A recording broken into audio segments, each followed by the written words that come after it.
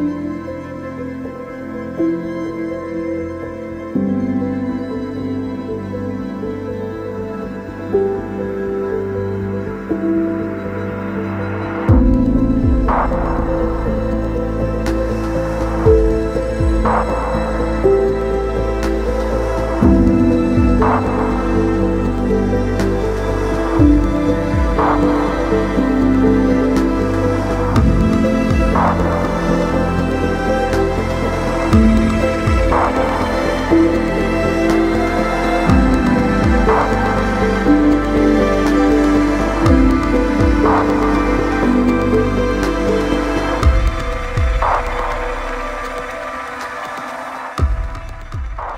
Witajcie kochani, Rafał z tej strony. Wiele osób pytało mnie o to, jakie filtry sobie zabrać na wakacje, jakie filtry sobie przygotować do tych naszych letnich, wakacyjnych ujęć. I najczęściej te pytania e, wyglądają w ten sposób. Grecja, plaża, pełne słońca, jaki filtr e, wybrać. W dzisiejszym materiale postarałem się przekazać Wam swoich kilka doświadczeń na ten temat, ale też powiem o pięciu aplikacjach filtrów, bo dobrze byłoby zacząć takie zapytanie, jak dostaję najczęściej, od tego, do czego chcemy wykorzystać dany filtr i jaki efekt chcemy uzyskać.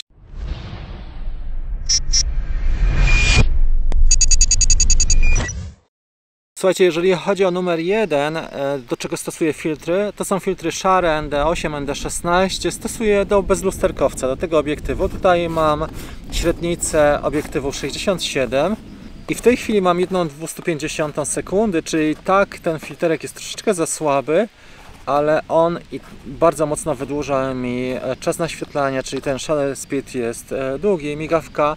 E, gdybym nie używał filtra, to tutaj mógłbym osiągnąć nawet czasy, tak jak teraz. Maksymalny czas, jaki tutaj uzyskuję, to jest nawet powyżej 1,4 sekundy. Widać, że te ruchy one wyglądają na bardzo choppy, a jednocześnie drugi plan mam mocno prześwietlony.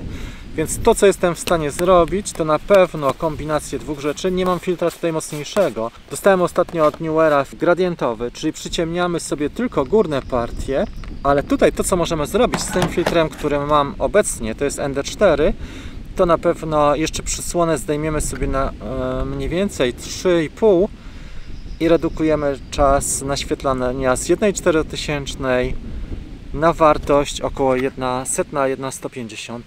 Już zupełnie inaczej to wygląda. Dużo lepiej. To samo dotyczy śmigieł. Jeżeli nagrywamy drona, to przy e, szybkim shutter speed, czyli bez filtrów, tak, przy krótkim czasie naświetlania, faktycznie te śmigła wyglądają e, na takie, których prawie nie widać albo mocno zniekształcają się. Natomiast jeżeli mamy e, założony filtr, czy to jest nawet telefon komórkowy, bo też są takie akcesoria, czy to jest bezlusterkowiec, nagrywanie drona wygląda zupełnie inaczej. Teraz mamy bez filterka, 1,4 sekundy nie wystarcza.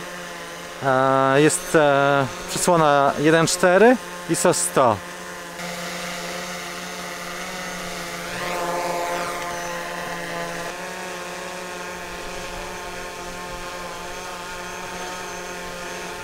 Założyłem filtr ND4, bo nie mam mocniejszego akurat dla tej średnicy. Jest 1,2 sekundy i przysłona 4, ale może sobie dajemy przysłonę 5. Może być trochę brudny teraz obiektyw. Jedna, e, może 5-6, tak? Jedna setna sekundy w tym momencie. Tak to wygląda. Jest duża różnica, jeżeli chodzi o to. No zobaczcie.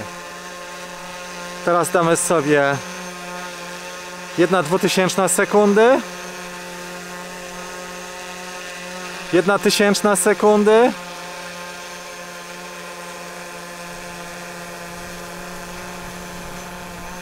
jedna pięćsetna sekundy jedna dwieście pięćdziesiąta sekundy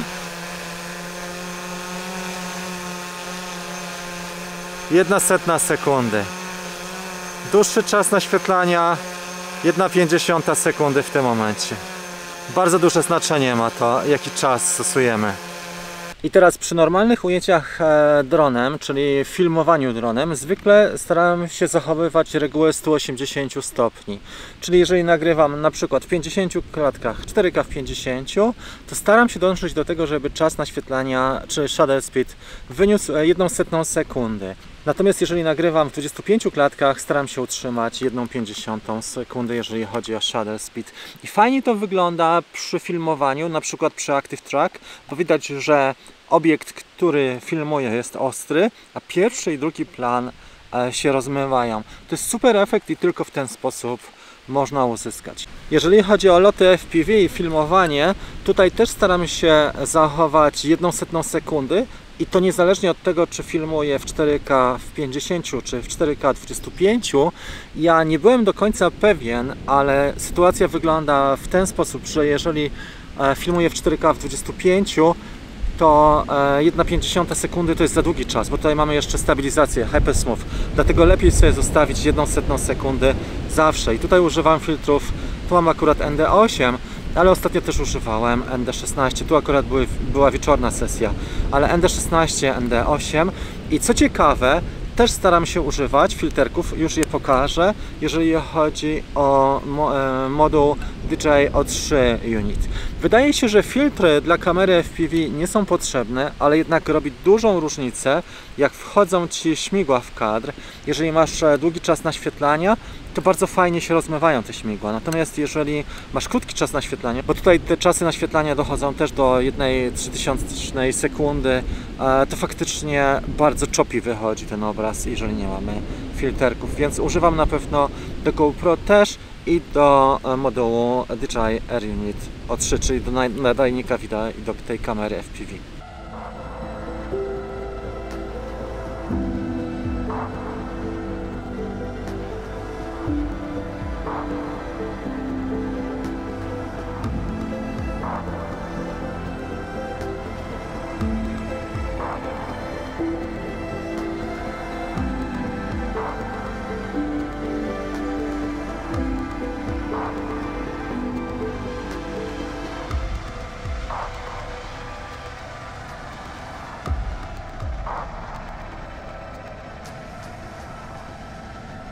Tu mam bardzo fajny patent, a mianowicie niedawno dostałem takie cztery filterki, taki komplet New Era. To są filtry ND8, 16, 32 i 64, ale mają też mocowanie magnetyczne. Dość ciekawie to wygląda, trzeba dobrze założyć, bo one są do awaty, ale też mogą być do modułu O3. Trzeba je dobrze założyć, tak żeby e, ten magnes siedział nam równo. I teraz spróbujmy ND16, ciach, i teraz widzę, że jest równo, patrzę sobie z góry i z dołu, jest ok, łatwo się zakłada, nie trzeba się tak męczyć, a jednocześnie e, dają radę i one się trzymają tutaj dobrze na korpusie, szybko można wymienić taki filtr, ale na pewno znacznie obniżą nam e, czas naświetlania, czyli shutter speed zwolni, dzięki temu te śmigła w planie e, zupełnie inaczej wyglądają niż w przypadku bardzo krótkiego czasu naświetlania. Nie? To jest główna sprawa, ale też na pewno chronią e, sam obiektyw. To jest też podstawa. To, o czym chciałem powiedzieć jeszcze, GoPro nie za bardzo zaleca nam stosowanie filtrów, ale ja bym powiedział tak, ND8, ND16 spokojnie, tylko że ja mam wyłączony Hypersmooth. Trzeba sobie sprawdzić, jak działa Hypersmooth, bo nie we wszystkich przypadkach on działa dobrze w połączeniu e, z filtrami. Zwykle te kamery e, sportowe, one są przeznaczone do szybszych, do krótszych czasów naświetlania, ale ja tutaj daję radę e, spokojnie. Zwykle stosuję właśnie filterek ND16 do wieczornych ujęć ND8 i czasy naświetlania 1 na sekundę wychodzą mi najlepsze efekty. Fakt, że stabilizuję w postprodukcji, bo w Real Steady, czyli normalnie ustawień używam takich, że jest stabilizacja wyłączona, jeżeli chodzi o GoPro. Kolejna aplikacja, słuchajcie, dotyczy zdjęć i ludzie mówią o tym, i to się dosyć często zdarza. E, ja już się spotkałem z wieloma opiniami fotografów, tak siebie nazywają ci ludzie, że do fotografii filtry nie są potrzebne. Ja bym powiedział, w zależności od tego, jaki efekt chcesz uzyskać, bo wielu fotografów może faktycznie nie być świadomych, czy nie potrzebują nawet zarządzać tak bardzo czasem naświetlania, szczególnie jeżeli fotografujemy obiekty, które nie są ruchome, na przykład właśnie nieruchomości, budynki powiedzmy, czy miasto. Ale jeżeli chcemy uzyskać efekty specjalne, na przykład efekt panningu, e, gdzie mamy pierwszy, pierwszy plan i drugi plan, a e, obiekt jest ostry, to wiadomo, że trzeba bardzo mocno wydłużyć e, czas naświetlania. Jeżeli chcemy uzyskać na przykład smugi, e, to samo. I teraz też aplikacja, która wydaje się, że jest aplikacją odrębną od wykonywania zdjęć, ale timelapse e, czy hyperlapse, one są sekwencją tak naprawdę fotografii, składającą się z fotografii i tutaj też powinniśmy wydłużyć czas naświetlania, więc filtry do tych zadań zdecydowanie znajdą swoje oblicze swoje zastosowanie. I co ciekawe, widzę dużo takich ujęć na przykład na Instagramie. Widzę nawet sponsorowane, słuchajcie, posty. To mi się, to mi się wydaje bardzo śmieszne, gdzie kolesie ogłaszają się jako właśnie posty czy rolki sponsorowane i pokazują swoje hyperlapse miejskie, na przykład nad rondem, gdzie mamy ten czas naświetlania powiedzmy 1 4000 sekundy i te samochodziki nam tak skaczą, tak czop, czop, czop, czop, czop, czop, czop zamiast fajnie śmigać nam w tym kadrze przy dłuższym czasie naświetlania, więc tak naprawdę jest zdecydowanie wskazane użycie filtrów do takich aplikacji. Teraz mamy bez filterka 1,4000 sekundy, 1 setna sekundy w tym momencie. Mavic już wylądował. A teraz sobie ściągniemy filterek ND16 i założę zwykłą osłonę. Dostałem te filtry od Newera bardzo fajne są, jeżeli chodzi o ND komplet dla Mavica 3 Pro. uważam, że one są wystarczające. Nie mam na razie polaryzacyjnych, ale te, które tutaj są, wystarczają. Pamiętam taką starą moją sesję paningową jeszcze Maviciem generacji pierwszej, teraz już jest generacja trzecia, też Pro, ale w każdym razie wtedy brakowało mi filterka, który dzisiaj mam ND64 i czasy naświetlania, które dzisiaj stosowałem, czyli shutter speed nawet 1 dziesiątą sekundy, 1,15, 1 dziesiąta sekundy, więc e, bardzo długie te czasy naświetlania. Nie tak łatwo też zgrać e, ruch auta z ruchem drona, żeby leciały tą samą prędkością, ale jak się chce, to od czasu do czasu można coś fajnego zrobić. Chciałbym zrobić jeszcze teraz lot FPV, żebyście zobaczyli, jakie są duże różnice, jeżeli chodzi o podgląd w goglach, ale też jeżeli chodzi o zapis na GoPro, bo naprawdę jest spora różnica. Ok, przełączyłem już wszystko, bardzo fajna konfiguracja, różowe śmigła, GoPro mamy na automatycznych ustawieniach i jeżeli chodzi o unit też nie mamy e, żadnego filterka, także będą bardzo krótkie czasy naświetlania. Zobaczycie jak to wygląda i po minucie dosłownie, tak żebyśmy mieli za 30 sekund chociaż przelotu, e, za chwilę zmienię i założę filterki ND16.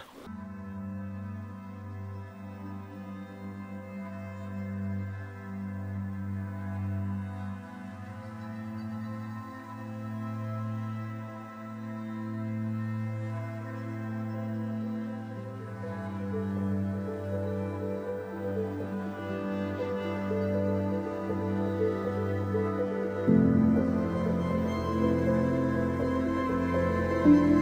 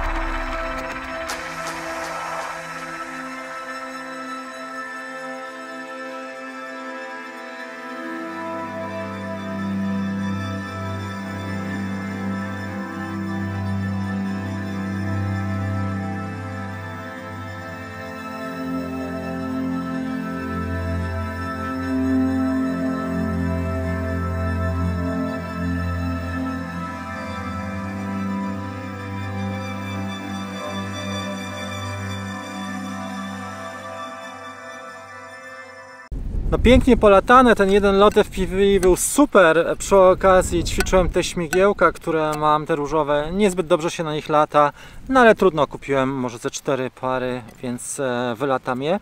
Co chciałem powiedzieć, magnetyczne uważam do FPV za słaby pomysł, bo właśnie przy tym crashu ND16 poszło.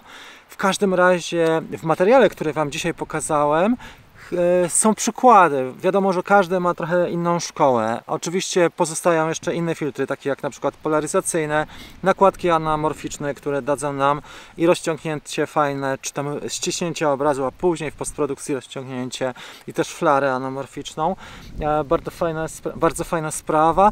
Mamy też trochę takich filtrów nietypowych, do efektów specjalnych, czy połówkowe.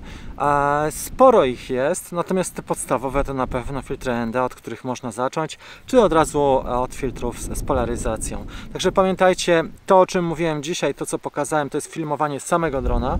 Warto mieć e, dłuższy czas naświetlania. Jeżeli chodzi o filmowanie, zdecydowanie najlepiej jedną setną e, sekundy przy lotach dronem. Uważam, że to jest dobry czas i nie powinniśmy mieć przy tym e, żadnych problemów z ujęciami. Powinny fajne ujęcia wyjść zawsze przy jednej setnej e, sekundy. Oczywiście są sytuacje, kiedy potrzebujemy inny czas naświetlania, na przykład w szeregowcu Ryanie, tak? To był szerogiec, tak, w, w szeregowcu Ryanie tam były bardzo szybkie sceny przy krótkim czasie naświetlania, ale też czasami są efekty w filmach, gdzie ludzie chcą pokazać odmienne stany świadomości, wtedy wydłużają nienaturalnie, mamy rozmycia większe e, przy dłuższej migawce. To jest kolejna rzecz. Zdjęcia paningowe wymagają filterka. Najlepiej mieć e, ND64, bo to faktycznie już wygląda zupełnie inaczej, bo tam potrzeba zdecydowanie dłuższego czasu naświetlania. Tyle. Dajcie znać w komentarzach, jaki, e, dajcie znać w komentarzach. Mam nadzieję, że trochę rozjaśniłem temat związany z tym, jakie filtry wziąć na wakacje, a mianowicie sam musisz sobie sprawdzić, jakie osiągniesz e, właśnie parametry, jeżeli chodzi o shutter speed, czy migawkę przy danym filtrze. Ja bym powiedział, że na nasze warunki ND8, 16, 32 do zdjęć 64 Natomiast jeżeli chodzi o południe, no to wiadomo, że ND16-32 powinny grać jak najbardziej. Pozdrawiam Was bardzo serdecznie. Widzimy się w kolejnym epizodzie dla osób, które zaczynają przygodę z dronami. Mam darmowy warsztat. Zachęcam Was bardzo serdecznie, jak rozpocząć przygodę z dronem. Tam jest wizja, pierwsze kroki. Mówię o wyborze modelu i o tym, jak motywować się i rozwijać żeby po trzech miesiącach dron nie trafił do szuflady i nie zbierał kurzu. E, widzimy się w kolejnym epizodzie. Trzymam kciuki za postępy i do zobaczenia. Cześć!